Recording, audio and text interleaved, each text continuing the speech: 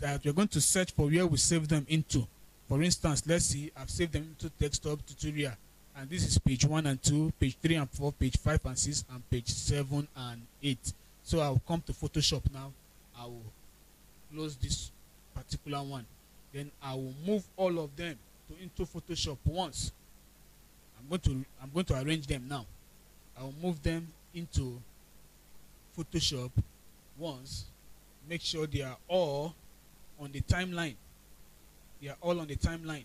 You can see, this is page 6 and 5, I mean page 5 and 6, page 7 and 8, page 1 and 2, page 3 and 4. Then the next thing we're going to be doing is a practical something. Yes, it's a practical something that we're going to be doing, which is the next thing we're going to do. The next thing we're going to be doing is that we are going to look for paper. There are how many papers, how many pages do we have here? This and this will be on one page, why this and this will be on one page, but that is not the final arrangement. Yes, you got me right. That is not the final arrangement. So we are going to look for paper. Since we uh, since we have uh, how many paper do we have here? This is will be on the front. This will be on the back.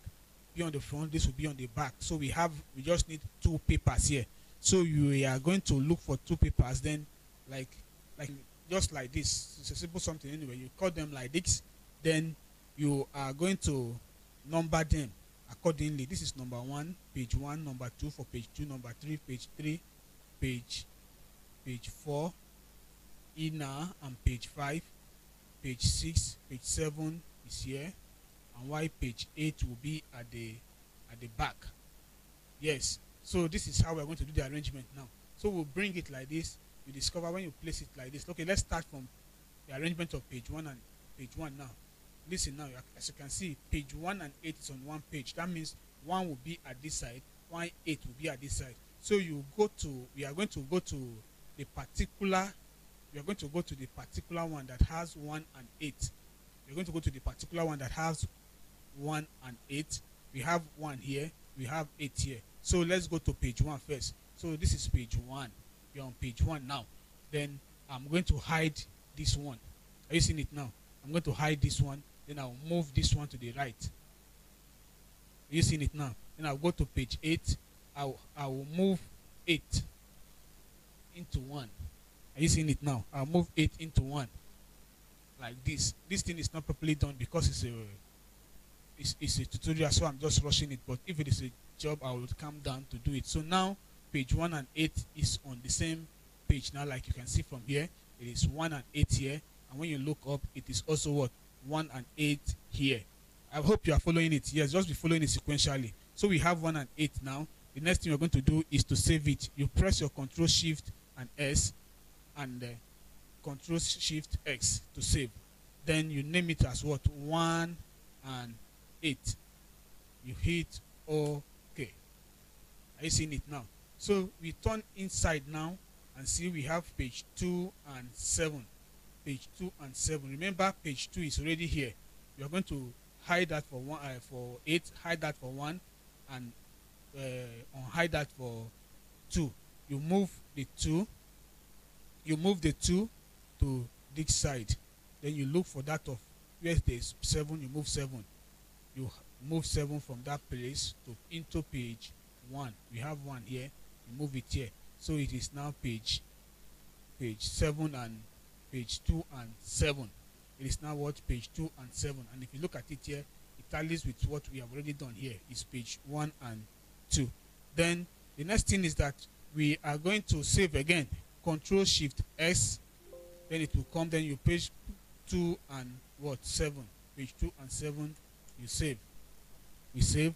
Then you repeat the same process. Now we are going to go to page.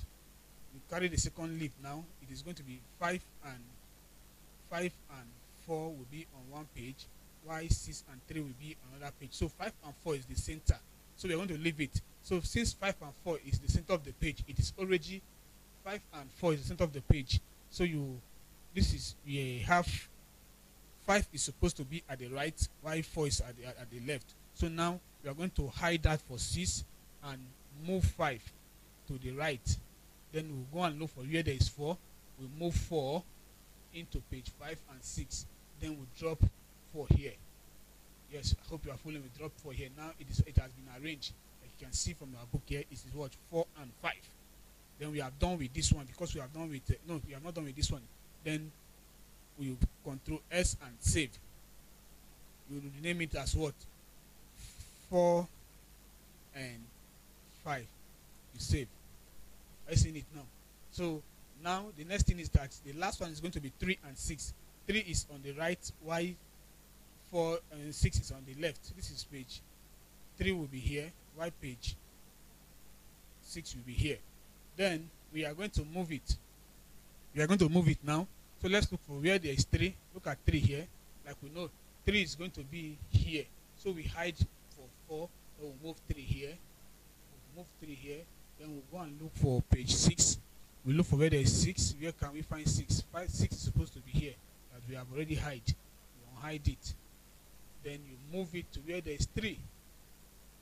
Move it to where there is three, and leave it like this. We have page six and three. Then you save.